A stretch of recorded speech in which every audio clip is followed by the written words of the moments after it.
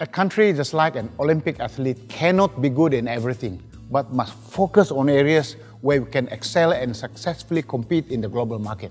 We ran labs involving participation from the private and public sectors, and this we held to identify sectors in Malaysia that have the highest impact on delivering gross national income, attracting investments, and creating new jobs. We consulted extensively with the private sector and concluded that the focus should be on 11 economic sectors and one geographical area. How have we done? In just over one year of implementation, all 12 national key economic areas have achieved tremendous progress, achieving 23% of the set uh, KPIs for 2011. 72 out of the 131 entry point projects have taken off. Now let me take you through, through some of our achievements in 2011. In agriculture, 5,000 hectares of land were amalgamated involving 2,982 farmers from 27 farmers organizations, with early harvest projecting a 50 to 100% increase. 22 existing permanent food production zones were upgraded to enhance the quality and production of fruits and vegetables. Under business services, aviation, repair and maintenance and overhaul sector surpassed 2.6 billion ringgit. That's a lot of money. 17 new multinational corporations have set up outsourcing and data centers in Malaysia, and these will create more than 6,000 new jobs within the next three years. With communications, content, and infrastructure, more than 60% household broadband penetration was achieved in 2011. More than 1,300 villages across the country now connected through wireless internet. In the industry-led public-private collaboration to grow the export segment of the creative industry saw a 29.6% increase in export revenue. In education, we want to ensure that every child has access to affordable, quality education. You can see the success of the EduCity in Iskandar in positioning Malaysia as a regional hub in the global education network. Institutions such as Raffles University Iskandar, Marlborough College, and the Raffles American School. These have all set up operations here in Malaysia. Over in electrical and electronics, LED SSL Certification Center in Penang is now equipped to perform testing in accordance with the American National Standards Institute.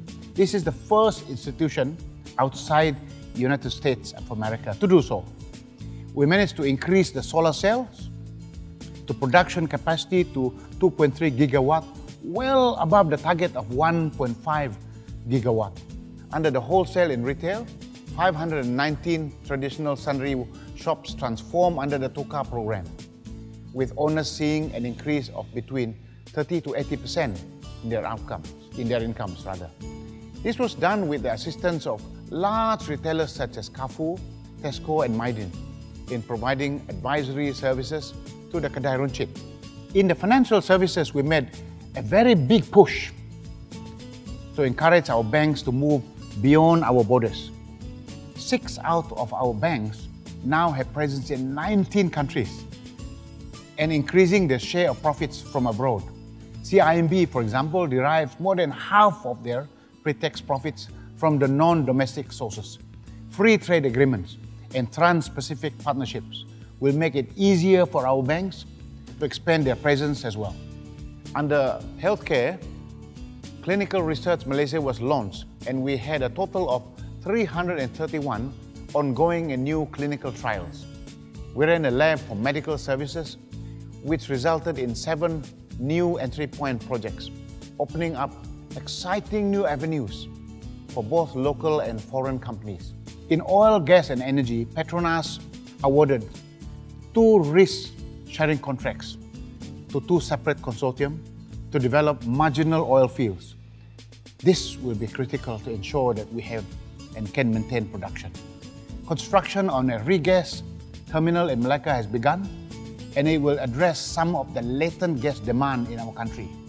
With oil palm and rubber, CPO prices in 2011 has increased to 18.91 million tons from 17 million tons in 2010, whilst oil palm hectareage increased to almost 5 million in, in 2011.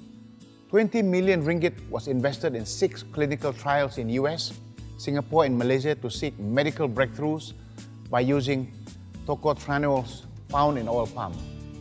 Over in tourism, Malaysia's first premium outlets opened Johor.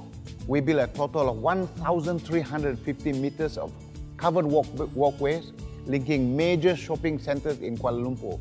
Today, you can walk straight from Suria, Kuala Lumpur, uh, KLCC rather, to Pavilion, and from Berjaya, Times Square, to Lot 10. With Greater KL Klang Valley, Talent Corp and Invest KL were established to attract global companies and talents to Malaysia. Schlumberger, PayPal, IBM, Vale, Worley Parsons, and Toshiba have set up their operation and committed investments here in Malaysia. 600 Malaysians have returned home under the Returning Experts Program. The MRT project is also progressing well, and the first line is expected to be fully operational in 2017. Various initiatives to enhance the city's livability factors include, amongst others, of course, cleaning up the KL River, planting more trees and providing comfortable pedestrian walkways, and many more. It will be easy for us to lose focus and get tempted to spread our resources in areas that do not generate GNI. To move from middle income to high income nation, we must fulfill both conditions. To create an environment for competitiveness and to remain focused on the sectors that will deliver us the GNI, the investment, and the jobs that we're looking for. We have eight years to do this, and our journey has just begun.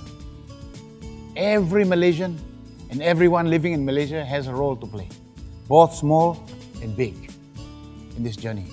Find out how you can benefit from the initiatives, whether it is to better your career or your job, create business opportunities, or understand how things can improve. Thank you.